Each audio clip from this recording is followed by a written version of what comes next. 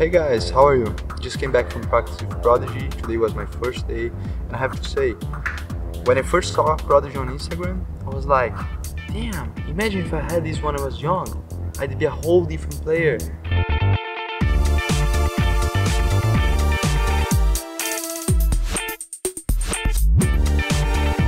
Look, I don't need to tell you anything. Just look at these kids practicing. They're young, they're balling. Their game speaks for themselves.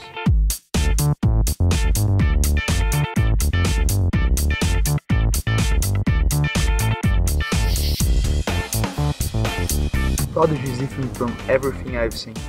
They care if the players are improving, they care about the staff, and it really feels like home.